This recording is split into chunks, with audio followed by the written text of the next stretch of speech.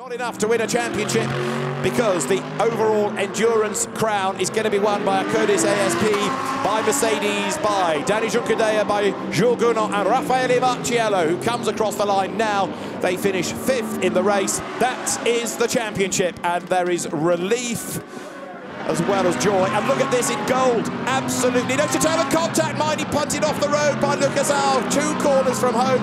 And the class leader dispatched towards the barriers. Well, disappointing. That's all I will say about that manoeuvre. Vincent Abril, or put it this way, Vincent Abril didn't get alongside. Oh, contact down the turn eight. Oh, well, and we that, got that, one that of the will be a full Ferraris and one of the Saintéloc cars I talked about. We might need a safety car and uh, contact, yeah, eight and debris everywhere. If the cars had clashed and gone off the circuit, it wouldn't be so bad, but they've certainly covered the track. Down into turn eight, we can come. Ah, okay. The Sky Tempesta car spun the Audi around, and then the uh, Ferrari clearly going to come into the back of it any second now. Oh, that was a heavy impact for Ugo Delacourt. Nowhere left to go, and you can see the debris everywhere. So take a look. That's Eddie Cheever going up the inside, spinning Aurélien Panis around. For Hugo Valente, dust settling as he been off the road coming out of the Villeneuve chicane. Yeah, he ran right again on the exit of the chicane. Uh, we didn't see it happen, but we saw the consequence of the dust up in the air. Up the hill we go, and well, further down the field, he's back up at the Piratella. Oh, that's Ooh. the reason why. Whoa, yeah. oh, dear Oh, me. That was a Code Brown moment as they all Wow. scattered. Oh, Wow, well, that was lucky. Lucky. Well, that's the understatement of the day. And Alberto Di Folco, who's hanging on, hanging on out of turn three. Will he be in the right position for turn four? Not for want of trying. He's though. going to make the undercut, or otherwise he's going to be hung out on the outside and allow the McLaren to make that pass. But he seems to like the outside line because he's had success, and now he's got the inside coming through turn six, then the curve of turn seven, and contact. Dodgem cars round goes the, well, the Lamborghini, and that's going to clobber one of the corner markers. So fortunately, no specific damage. Oh, and the McLaren has got to cut down right rear tyre as a consequence of that contact. Gounon goes through, and also cutting across the curves came Krapinski. Two clashes, and Eddie Cheever says, "Thank you, I'm coming well, I think through." Krapinski will be the one who'll get a penalty or some recognition because he actually cut across the inside of turn six and just ran wide into the side of the McLaren and not only biffs it once, he biffs it the second time just to make sure he felt the first one. Wow, what's happened to this? That's a big impact, and that's the Nicolas Baert Gilles Magnus Audi, which I think is César Gazeau now at the wheel of it. It is, and César Gazeau has gone off the road, presumably coming out of Blanchimont. He's done damage to the front of the car. Uh, he's got the Saintéloc Junior Team Audi, in, or what's left of it, into the pit lane. Damage, sizable damage on the left front, and here he goes. And He's goes. sideways. Yeah, it was Blanchimont. Wait for the bang. Yes, indeed. Oh, I mean, that's a heavy impact on the left front. And uh, the bodywork, apart from anything else, being Right on the outside, many of them go wide. So look, the Audi leads, getting away a little bit. Rovera second, Drudi third, Aitken fourth, fifth is clean. A drama there off the road. Oh. Spectacularly goes Rob Bell in the McLaren. That's going to be a yellow, no doubt about it. With the Porsche coming out of the hairpin. Look at the top of the shot. It's such a group. I mean, it's just absolute. There we go. So was that the back of the Porsche? Was that the back of the, the, the okay, whatever. It was the, fr- the Lamborghini and the Porsche were both there. Wheel comes off as well. Or tower actually came off rather than the wheel. The completion of what will be lap 57 will go racing this time. It's our third interruption. Safety car, lights off. The instruction. Oh, drama in the background. Oh, a big, big oh, hit. That's dear, BMW. That's the 50. I think that's the. It's the Bentley. It's the Bentley. Oh, it's Oh, Matthew De goodness. Robiano, and that's not going to be the end of the safety No, no, car no. That's- process at all. That is a massive, massive Safety hit. car lights on. We remain in safety car procedure. No, no kidding, Alan. I'll tell you what, I Wow. think it's, it's more than a second To clear the racetrack and the exit of uh, Acque Minerali, that's going to take some time. Going to, oh, he, he had a half a look about it, but the Aston covered it. Oh, and the team gets wide now. This is a chance for Gounon. Better drive off the chicane. Are they going to come side by side? Gounon has done enough. I think he'll be on the outside of the road coming into the corner, but Nicki Thiim's going to stick the Aston Martin down the inside and deny.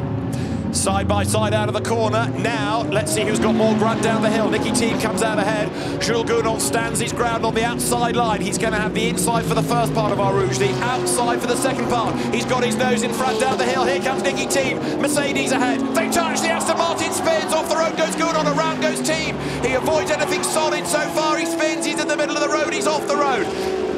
Jules Gounon keeps going. Nicki Thiim, after a monster, monster spin, gets going again. That was a proper Code Brown moment. He's got going. He's avoided hitting anything or being hit by anybody. But he had four tyres that'll be like threepenny bits. They'll be flat spotted so bad he's slowing down. Now, has he got a serious problem or not, or is that simply the vibration from those four He's wheels? got a puncture, has he? He may have actually, in that spin, he might have actually, you know, you see the rubbish falling off it. So when he was spinning, he's probably gone through the carcass of the tyre. Yeah. We've seen that happen earlier this year. A tyre, there was actually a hole in it where a car had spun and had spun through the carcass, through the cords, and the tyre just. Uh, wow, what an exciting moment that was. Especially if you're a, a Nicky Let's go team. green and we go racing. On the inside line is Ulysse de Pauw. Gounon drops back a little bit as up the inside line. Goes back to Julian. There's carnage going into the first corner. Cars scatter everywhere. One Porsche is off.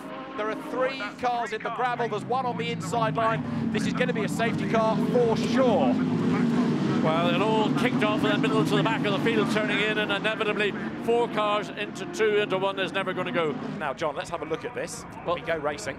Forget about, oh, look down the inside. There's the Mercedes that caused Yeah, it. It it. got tipped, then he was off on the inside, and then two Audis and the Porsche end up going off.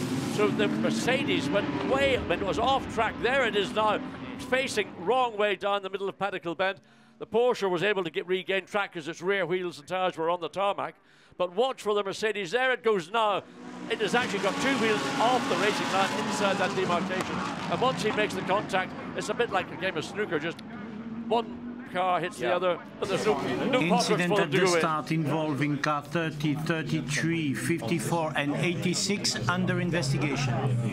The other element to that, John, of course, you saw well Ilko, as you rightly said, two wheels on the grass, but of course the barrier starts to taper out, so the room disappears. He had to get back on the racetrack. There, but you see it taper, so he's got to force his way back on. Yeah, I mean, it was his error that set off this whole incident. I suspect that's going to be under investigation because he did have two wheels across that white demarcation line.